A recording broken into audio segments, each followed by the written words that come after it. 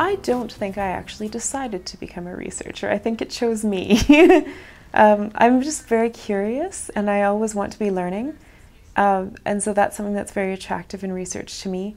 And honestly, the best part of my job is the teaching.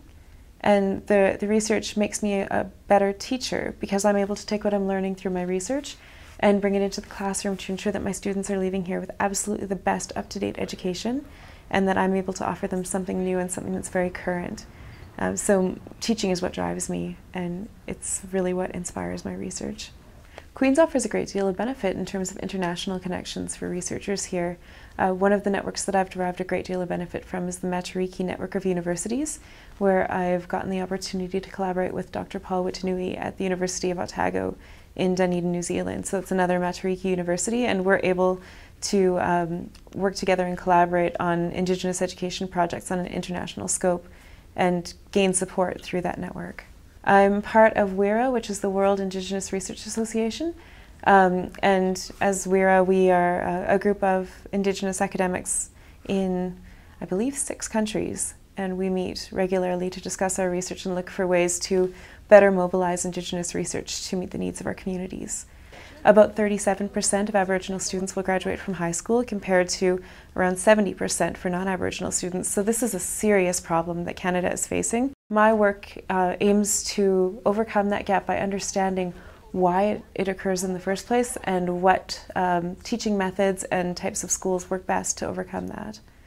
I'm working on a project with an immersion school in Anishinaabem, which is also called Ojibwe, on Manitoulin Island. And in the school, the children are uh, immersed in Ojibwe six hours a day, so the entire time that they're there, they're junior and senior kindergarten students. And they're also engaged in Aboriginal pedagogies and play-based learning um, in a school that is also an eco school. So there's a lot of natural materials, and the parents built their playground using all natural materials from the area. So I'm monitoring their progress um, in terms of their education and their language development, and also how they feel about their education. I think that the most important advice that I would give to somebody who is thinking of becoming a researcher in education is that your primary focus and your primary responsibility lies with the community in which you work. So if you're researching only for your own good and, and to elevate your own career, uh, those are important things, but that can't be your only focus. And if you're doing it for those reasons, you're not going to be a good researcher in education.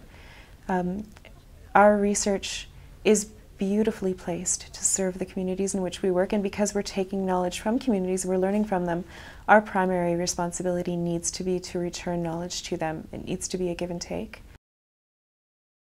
One by one, you and me, that's how we build community. Take the step, take your turn, learn to teach, teach to learn, support, connect, collaborate, be a part, help us create. Yeah, one by one, you and me, that's how we build community.